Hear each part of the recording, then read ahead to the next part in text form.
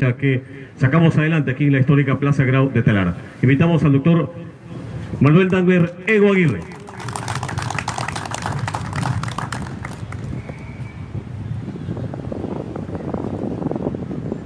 Estimadas autoridades aquí presentes, estimado pueblo de Talara, estamos celebrando, como se han celebrado todos estos años, no solo una memoria histórica, sino un compromiso con la dignidad del Perú.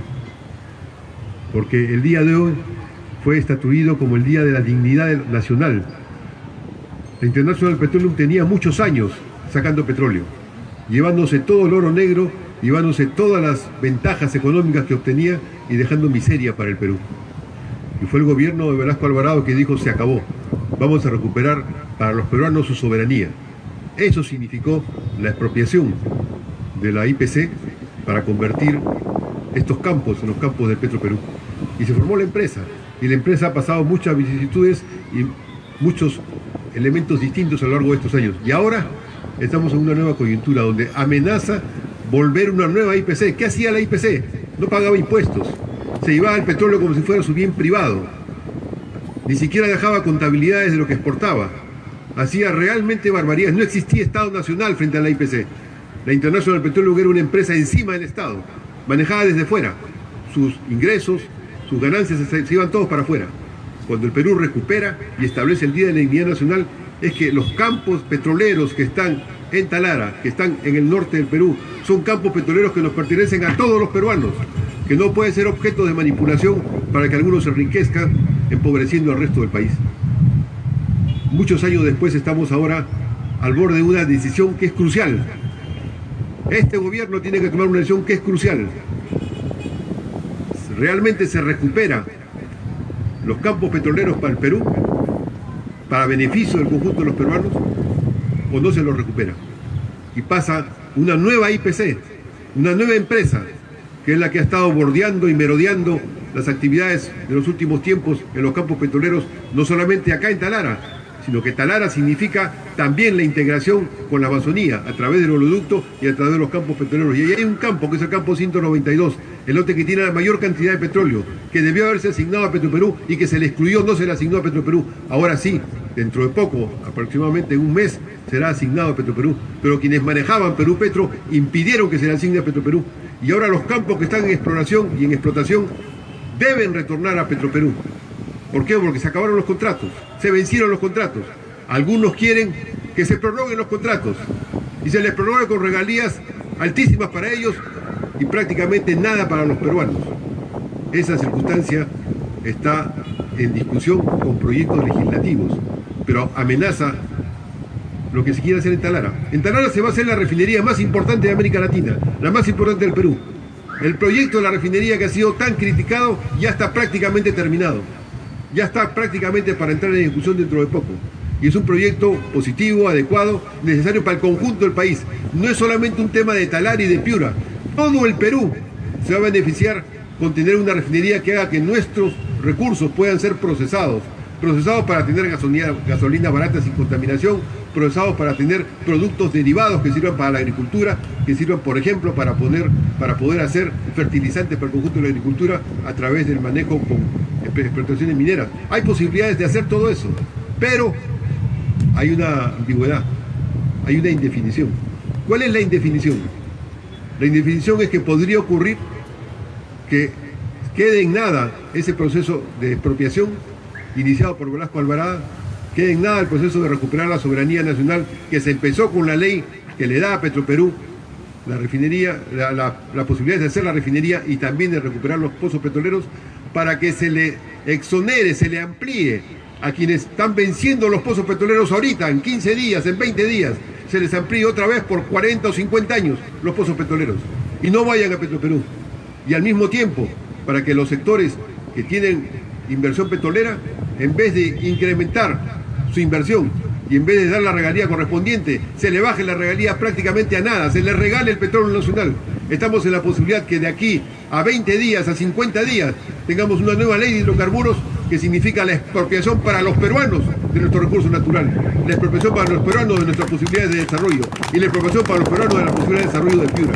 Ese es el debate y esa es la lucha fundamental que ahora hay que enfrentar. Ciertamente que todo indica que la vamos a ganar. Hay un mayoritario consenso claro en el Perú.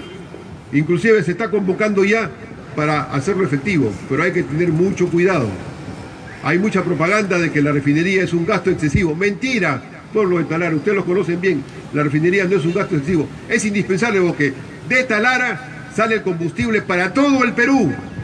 No es que la refinería de Talara es para el combustible para la zona del norte, para Piura, es para todo el Perú. Por eso su proyección es de conjunto, mirando en el conjunto del país. Otros quieren traer petróleo y llevar los recursos de, la gasolina para otras partes del país y hacer que los pozos petroleros donde no han invertido, el Estado les dé plata para que inviertan ellos de la plata del Estado y tengan una producción muy limitada, pero lo que quieren capturar es lo fundamental del petróleo que hay para hacer su propio negocio, poniendo su tarifa y vendiéndolo fuera. No quieren desarrollar el país. Hay una disputa no resuelta. Yo espero que el presidente de la República próximamente anuncie lo que ha anunciado también el presidente de Petroperú. Esto es, que Petroperú no tiene que endeudarse para invertir. Petroperú tiene que recuperar los lotes petroleros que están ya vencidos y que están venciéndose próximamente. Y sobre esa base convocar nuevos socios para inversión y ampliar la inversión. Petroperú tiene que consolidar la refinería de Talara, haciendo que la refinería de Talara no sea el rico del barrio. Mientras el barrio está con pobreza, sin empleo, mientras se acabe el agua, mientras no hay condiciones en Talara, mientras Talara se va deteriorando, ahí la joya de la corona industrial de América Latina está acá. No puede ser que junto a la joya de la corona industrial de la refinería haya un pueblo donde no tiene agua potable, donde no tiene ni siquiera lugar para depositar la basura, donde no hay hospital que funcione adecuadamente. No puede ser, eso es una cosa imposible en cualquier política, cualquier país. Cuando hay una inversión de envergadura, desarrolla simultáneamente el territorio para sus pobladores, para sus trabajadores, para la gente que vive en el, en el área. Ese es un asunto que abarca no solamente a Piura, abarca a todo el norte peruano, porque el proyecto de la refinería es un proyecto que supone traer el petróleo desde la Amazonía con los reductos e integrar los campos petroleros que existen en el área. Esa es ese es el desafío que tenemos todos. Yo estoy seguro que Piura, que siempre luchó por las mejores causas, que estuvo pendiente permanentemente en defender la recuperación soberana del petróleo nacional, también va a hacer que este gobierno, que anda dudando sobre la materia, no tenga dudas y responda eficazmente y claramente a lo que demanda el interés nacional. De aquí a pocos días se van a tomar las decisiones finales. Y las decisiones finales yo espero que respondan a lo que el pueblo de Talara y todos los peruanos estamos exigiendo. Esto es que la refinería de Talara sea un bien del conjunto de los peruanos que permita tener fertilizantes desarrollados para la agricultura a través de asociaciones con eh, lo que existe acá de minerales que pueden permitir tener fertilizantes, tener una agricultura pujante, tener también valor agregado con los propios desarrollos que tiene las posibilidades que da el petróleo, que dan los combustibles y que nos pueda dar al conjunto de los peruanos, pero en particular a Piura y, a Talara otras condiciones de vida. No puede ser. Yo he visto que los alcaldes han venido planteando varias veces, los prefectos, y ahora una prefecta que además es talareña, ha venido planteando al gobierno central, señor, si hay esa inversión, ¿por qué no hay ni siquiera una fórmula de, manejar la basura en Piura, en Talara? Porque no hay adecuados sistemas, porque si alguien se enferma se muere en el camino, ¿por qué no existen esas cosas? Eso se puede obtener, se está a la mano de obtener, y la unidad del pueblo talara, la unidad de los trabajadores, la unidad de los agricultores, la unidad de los comerciantes, la unidad del pueblo trabajador, de todos los sectores, puede lograrlo.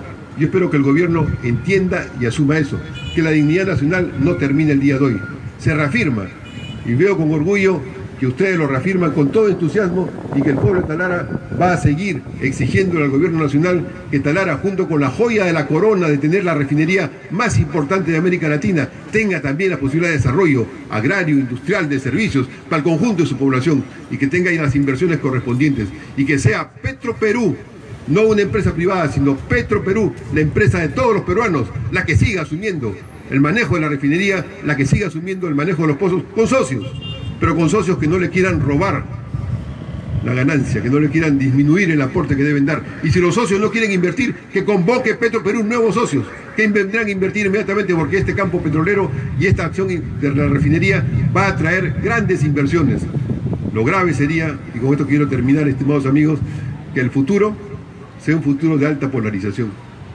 Que tengamos aquí la joya de la corona industrial del petróleo en América Latina y la pobreza también generalizada que acompañe esa joya industrial. Eso no podemos permitirlo. Y eso está en manos del conjunto de los peruanos y en particular del combativo pueblo talareño, del combativo pueblo de Piura, del combativo pueblo del norte del país y en especial de sus trabajadores y de sus autoridades. Estoy seguro que el gobierno actual lo pensará bien, pensará y verá, porque los propios que han informado por parte de Petroperú, y quiero dar un, terminar, un saludo al expresidente de Petroperú, Atkins, que lamentablemente falleció, que él decía, la refinería tiene que salir, los lotes deben regresar a Petroperú y tenemos que sobre esa base aportar al desarrollo integral del conjunto de Piura y del conjunto del país. ¡Viva la lucha por la refinería de Talara y el desarrollo de Piura! ¡Viva, la lucha por la soberanía nacional! ¡Viva, Piura! ¡Viva Talara! Fuerte el aplauso para reconocer la participación del doctor Manuel Dangmer Ego Aguirre en esa fecha importante, 9 de octubre, Día del Trabajador Petrolero, y recordamos el Día de la Dignidad Nacional.